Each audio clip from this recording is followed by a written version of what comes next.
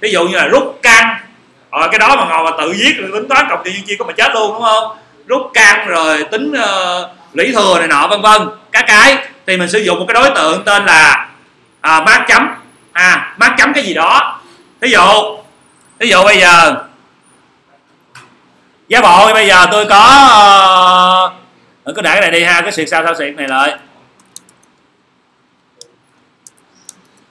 Rồi bây giờ tôi có ví dụ như là in x bằng 9 tôi muốn rút căn của nó. À thì tôi ghi in y bằng mát. Mát này để em mở với qua nha. Nó là hàm mà chấm. Đó nó ra một nùi hàm. Ok không? Tất nhiên mấy cái này mình cũng uh, cũng không có không có cần phải thuộc hết nhưng mà mình nhớ là nó có cầm thì mình tra cứu thôi.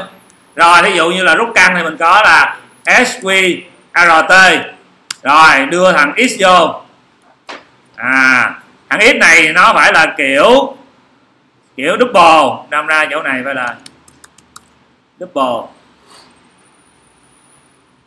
À, bạn đây coi nó trả về gì. Mà chấm sqrt à đưa vô double trả về double. Rồi đưa vô x x là double trả về double luôn. Rồi chỗ này mình ra y rồi, ở đây quý vị để ý là mình có cái hàm này. Hàm rút căn mình có là x là chính tức là mình rút căn chính á, rút căn chính trả về ba. Cái thằng này nắm giữ đúng không? Rồi, mình xuất cái nắm giữ ra. Rồi, mình ta, ba. Cái tự tổng là do cái chỗ này viết tập bậy thôi. Rồi được không rút căn đó à vậy tương tự vậy, mình có những cái hàm như sau. Ôi rồi quá trời hàm luôn. Mát chấm min đưa vô hai số nó đưa ra cho mình cái số nhỏ trong hai số đó. Mát chấm max đưa hai số nó trả về số lớn trong hai số đó. Mát chấm phao tức là uh, mũ á, tức là mũ á, tức là dụ mình đây này, mát chấm phao đưa hai double trả về double ví dụ là hai ba nó ra gì biết không?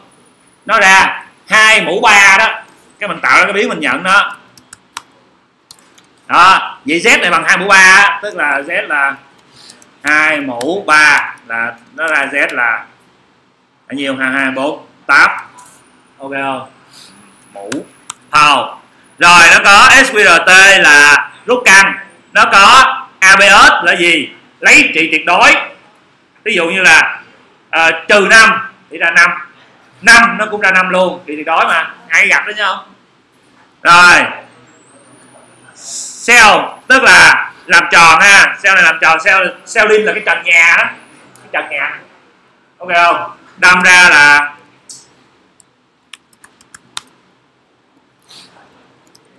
má chấm sell rồi, đưa vô. 6.1 quý vị biết nó là gì không? Cái trần nhà là làm tròn lên. Đâm ra 6.1 nó ra thành 7 nó có chấm một cái đó là 7 liền. À cái trần nhà mà. Rồi, còn floor là cái sàn nhà.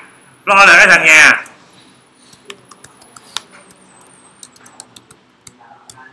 Floor là cái sàn nhà. 6.9 nó là nhiều là 6 lại là cái sàn nhà nằm cho xuống rồi, nó có hàm nằm tròn cân bằng. Rồi, ha.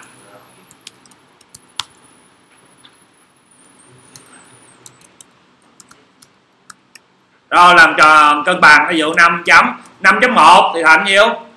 5 mà 5 chấm 5 thì thành 6 ok, chịu không?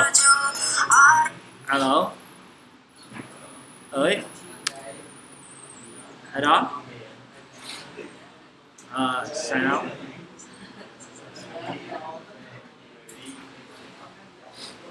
Chưa nhiều chừng này một giờ trưa nữa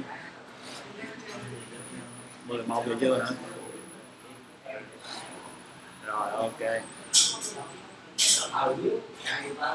Rồi rồi. Có gì chị em nhân nhanh nhanh nhanh coi lại thông tin kỹ hơn. Rồi ok. Rồi cuối cùng là gì? Mát chấm random là ngẫu nhiên. Sau này nó bị gì vậy? Rồi, cuối cùng là mát. Chấm random là tạo ra một số ngẫu nhiên. À. nhưng mà cái số ngẫu nhiên này nó ngộ lắm quý vị. Nó tạo số ngẫu nhiên từ không đến cộng một không đến cận một chứ chưa được một nha. Tức là nó tạo ra không. Không chấm, không một. Không chấm một, không chấm không không gì đó. Không chấm. Chín chín mà chưa được một. Ok không? Rồi, nếu mà có thời gian rảnh mình sẽ nói kỹ về cái random về sao nó có vấn đề của nó nữa. Rồi. Ok ha.